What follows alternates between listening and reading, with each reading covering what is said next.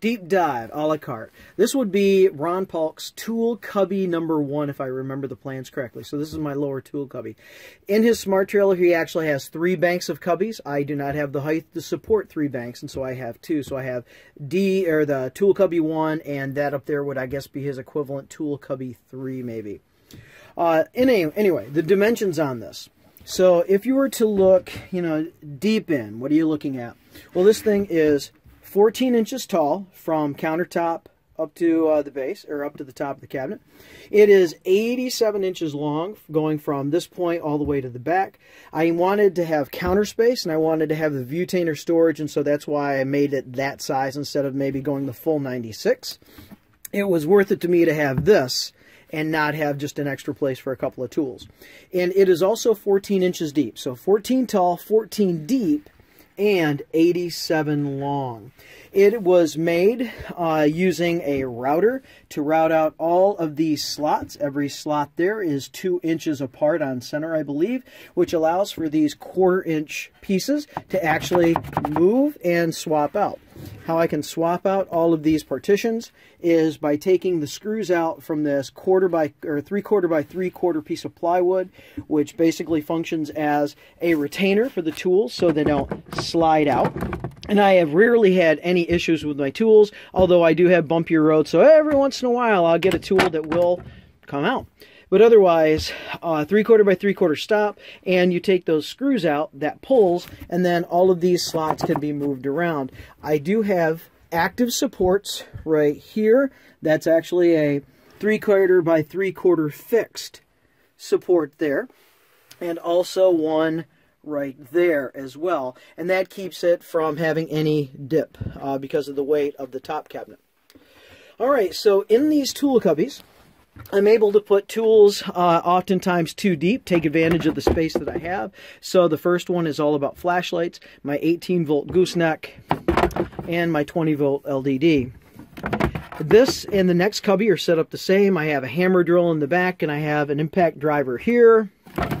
And the same setup here, hammer, hammer drill, impact driver. In this, I actually have a power screwdriver and then the right angle 18 volt drill, except I do have the 20 volt adapter kit on it, and my third and final impact driver. I have two of my old 18 volt tools. They are not hammer drills. In this cubby, I have a relatively new 20 volt drywall gun and I bought it as a kit and so I ended up getting the uh, drywall trimmer as well. And up in here I take advantage of magnets and that would be bits for my laminate trimmers. So uh, basically if I can I try and keep um, extra materials with the tools themselves. That way I know that I have them and can find them. Uh, cordless router. Uh, like that router I would like to have a second one. Here's my multi-tool with just a couple of grab-and-go blades, but I have a ton of blades. And this is my relatively new jigsaw. Barrel grip, really having a good time with it. And right now it currently has the Collins coping foot installed because the last time I used this, I was doing crown molding and I was having to do the coping. And so I tried that. Liked it. I just need to practice. This is a pride and joy of mine. I have a track saw. Love uh, track saws. Had a chance to use a couple of different brands. Whatever the track saw is, I'm a fan of it. I happen to have DeWalt, of course. Uh, no real place in any of my drawers to use sandpaper, and so I'm able to use cubbies for boxes of it, so kind of big storage, and then cut sheets. That would be simply a Arrow T50 stapler.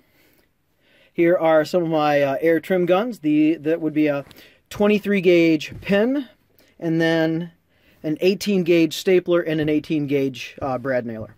Over here I would have another 18 gauge, uh, matter of fact two because I just got a new one, uh, wanted in a raffle, and then uh, one of my two 16 gauge. This would have a grinder, except the grinder actually was loaned out today. So there are my tool cubbies for my small tools, really happy with this and whatever next trailer I do will certainly have this bank and this bank in a longer trailer will actually go a full 96 and I'll take advantage of a full sheet of plywood on that because I do really like the uh, the methodology and the design behind this. I think this is just a genius design, whether Ron came up with it or it's been existing and he just popularized it. Either way, I am very happy with that. Okay, picking this up with, I believe, what Ron would call Tool Cubby 3 or TC3. Uh, Ron, in his Smart Trailer, actually has a middle uh, set of uh, tool cubbies, very much like the top set. It's it's a combination of the depth of the top with the height of the bottom, and so you get deep and short, and then you get deep and tall. And I just have the deep and tall. So what are the dimensions? Well, from uh, the top down to the bottom there, out to out at 16 inches tall. I have mine from that edge all the way to the end. It is 67 and one half inches, again, out to out. Depth-wise, because it actually matches up with my battery bank or uh, my battery charging station there, it is also then 20 inches deep. Uh, I'm able to take advantage of magnets and so you'll see a lot of uh, extra accessories to the tools kind of suspended on magnets and they do not come down. I've had good luck on the internet finding really strong uh, rare earth magnets.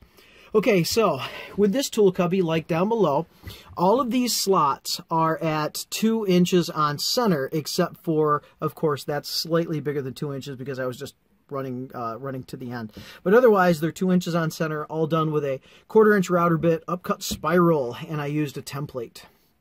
So that means all of these partitions actually will move. And here again, if I take uh, for the uh, uh, restraining lip here, the uh, basically the passive restraint guard, so this can't fall out, and it doesn't, by the way. Uh, that uh, if I take these screws out, this piece comes right off, and then I can move all of these around and rearrange the thing and, and accommodate new tools, old tools, or just a rearrangement of useful tools. Okay, so what do I have in here? Well, the tools really quickly. this would be saws. So 20 volt circular, corded $50 Ryobi setup to cut masonry, extra saw blades, and of course the accessory saw guides.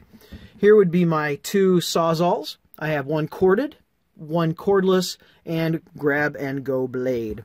Here I have two power planers, a relatively new cordless DeWalt, some accessories of course, and then I have a corded Bosch that I like a lot because it has that uh, dust bag that really catches a lot. Here I have, uh, uh, what is this? I guess this is a joist drill or kind of one of those narrow hole hogs. It's really long, but it's one of those 60 volt flex, and I haven't been able to dog that thing down yet.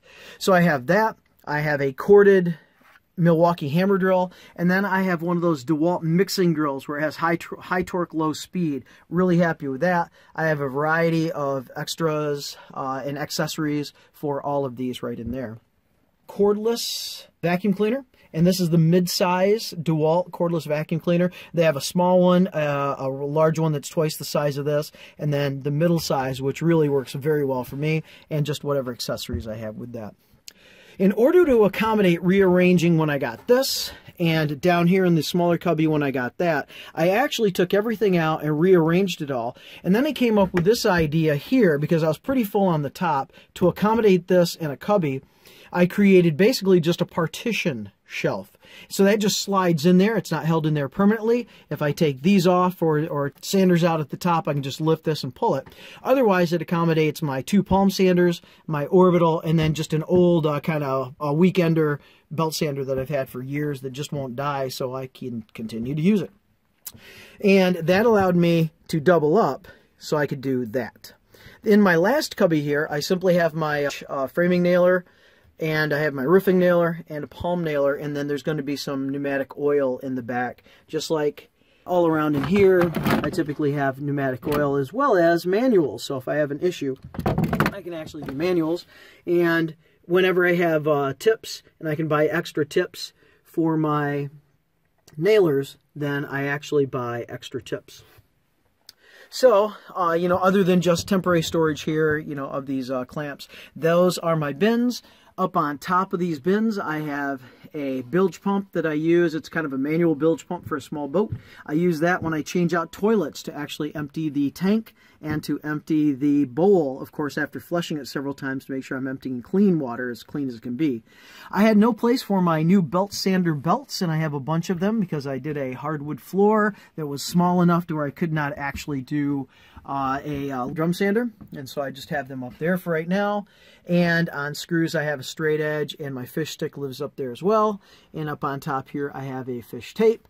And all of this, the cabinet ends there, and this is simply uh, one of those three-quarter by three-quarter edgings to keep whatever's up in here actually from sliding out or from sliding off.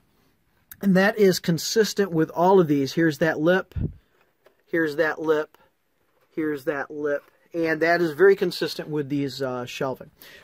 There you have it. It is the Tool Cubby 3.